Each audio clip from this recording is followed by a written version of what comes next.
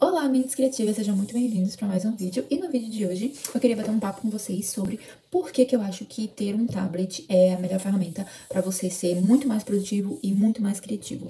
Eu acho o tablet extremamente prático, então eu trouxe para vocês 10 formas com as quais eu uso o meu tablet, que eu sempre usei o meu tablet o tempo inteiro, e formas de por que você gostaria também de ter um tablet. Então vamos passar por essas 10 razões. E eu sempre fui defensora do tablet, desde muito, muito, muito, muito tempo atrás, até quando é, nem era tão popular assim ao meu redor ter um tablet, eu já defendia o uso dele, porque para mim é uma ferramenta excelente de produtividade. E é muito prático. Então vamos lá. A primeira, primeira forma com a qual eu uso meu tablet é como um é, caderno ou notebook, né? é, para estudar, para fazer anotação, para capturar informação. É, você tem diversos aplicativos que você pode usar nele, não só é, digitando, né? Se você tiver um tecladinho, que eu recomendo, é, você pode também baixar um aplicativo que você possa é, escrever mesmo à mão, como se você estivesse escrevendo num caderno propriamente, que é o que eu prefiro em certas situações. Então, você ter uma stylus, né, uma caneta específica para o tablet ajuda muito você usar ele como um, um caderno mesmo. E, de novo, eu não tô falando aqui de nenhum tablet específico, vocês sabem que eu sou adepta do iPad, eu adoro o iPad, eu já tive tablet Android e eu prefiro o iOS no, no sistema, no, no tablet. Então, eu uso o iPad, mas funciona com outros sistemas também. Se você tiver um tablet Android, se você tiver um tablet com outro sistema, funciona da mesma forma. Tem aplicativo para transformar o seu tablet num caderno em qualquer lugar. A segunda forma com a qual eu uso o meu tablet é como sketchbook. Então, eu baixo aplicativos de desenho, de pintura, de criatividade e eu uso ele para desenhar, para criar alguma arte, alguma coisa. Então, como sketchbook.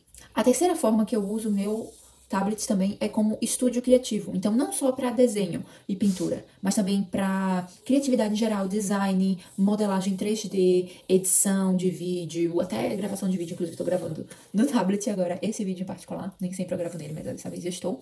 É, postagem, escrever também. Você escreve poemas, histórias.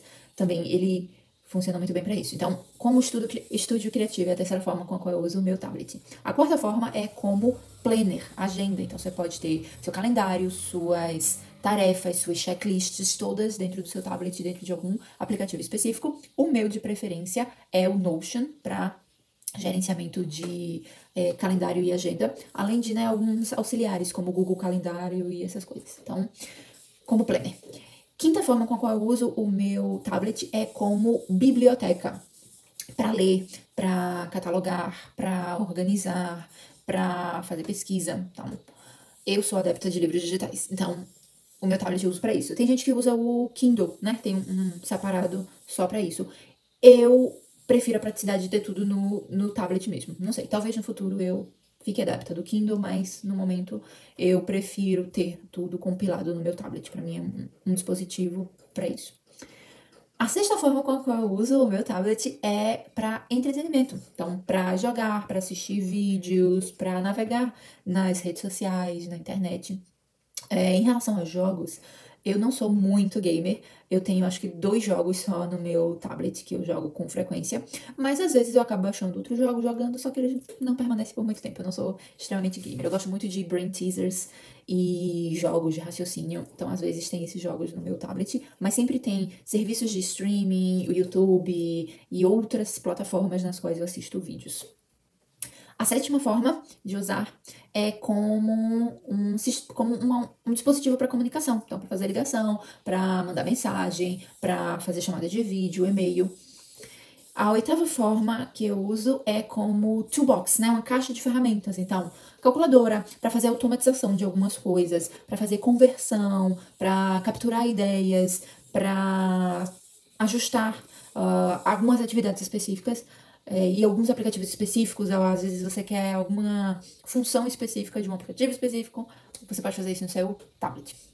A, no, a, forma de número 9 é como centro de estudos, né? Centro de aprendizado, centro de educação. Então, eu tenho plataformas para assistir os meus cursos, para fazer pesquisa, para me conectar com outras pessoas que estão estudando, pesquisando. É, a de leitura, né? Que eu falei ali na forma de uso biblioteca. No tópico 5. Então, como centro de estudo, eu uso meu iPad também. Então, se a plataforma que eu tô fazendo o curso, ela tem um aplicativo, eu gosto de baixar esse aplicativo e ter as coisas lá de acesso rápido para mim. Se não tem aplicativo, eu acesso pelo navegador mesmo e vejo pelo iPad. É, e não só o iPad, mas a maioria dos tablets, elas têm aquela função de você dividir a tela já, né? Há muito tempo, inclusive, vários deles já têm há muito tempo.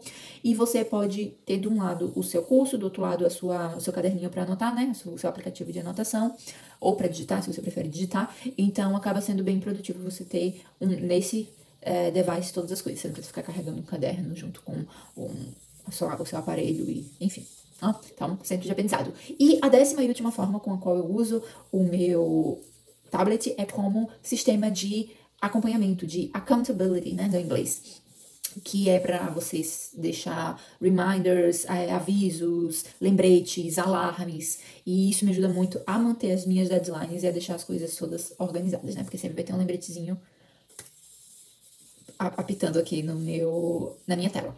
E isso é uma coisa importante. As notificações dos meus aparelhos, independente se tablet e notebook ou o que for, eu só deixo para calendário, pro Notion, que vai me dar o aviso das atividades que eu tenho que fazer, para lembretes de certas coisas. Eu nunca deixo notificação para mais nada, só para esses aplicativos específicos, tá? Então, essas são as 10 formas com a qual eu uso o meu tablet. Vamos revisar pra gente fechar esse vídeo.